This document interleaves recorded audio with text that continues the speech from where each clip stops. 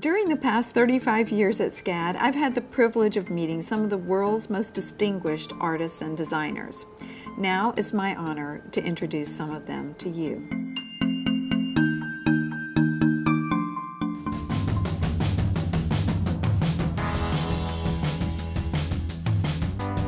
You make women feel beautiful, and your clothes are absolutely sensational. Thank you very much. For me, I've always been motivated by the idea of um, intelligence and style going hand in hand. It probably has a lot to do with the fact that I, I, came from a family where with a single mother and you know she was very strong herself and mm-hmm. but never compromised on style you know and um, I also understood early on the power of style like when I saw her transformation from day to evening you know. Do you so think there's a ritual in that in I getting so. in getting dressed? The advantage the greatest advantage that women have over men the process that you you know a woman um, takes to get ready. Because I think that time whether it's five minutes which is never five minutes you know as we all know uh, to like let's say half an hour to an hour right?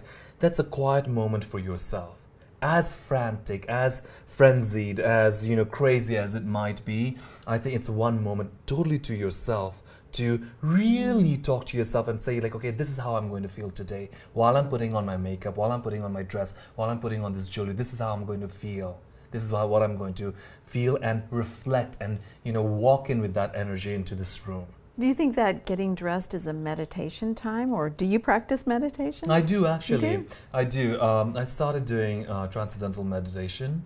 My mom does meditation has been doing it for years now and um, and I think it's extremely important to find a time or a moment even if it's like 20 minutes where uh, whether it's while getting ready or while you know whatever it is because sets your energy and your energy affects others. It does. You know, and, and, I'm a firm believer in that. And you've dressed women of such prominence mm-hmm. in State Department mm-hmm. dinners, the red mm-hmm. carpet. Um, and also, you uh, appeal so strongly to uh, our students. Mm-hmm. Um, how do you manage to appeal to such a, a, wide range? The world has changed completely from what it used to be. And I still remember um, when I was in school, like, you know, or I would look at those, you know, Valentino's pictures in Vogue oh. or Vanity Fair yes. with the, in, in, a yacht with all this stuff. And it used to be like an, such an aspirational thing, you know, and, um, and felt so like not a you know attainable. Mm-hmm. You know now I look at it and I'm like you know like I'm kind of you know in that world. Yes. You know, and I was like you know I never wanted to be that unattainable for anyone. I said to myself, you know, as a designer, if I can make the complicated, complex life of women somewhat easier, you know, consider a job well done. You've done it. You've done it. Well, thank you for saying that. You know, I've always wanted to make a living out of what I love.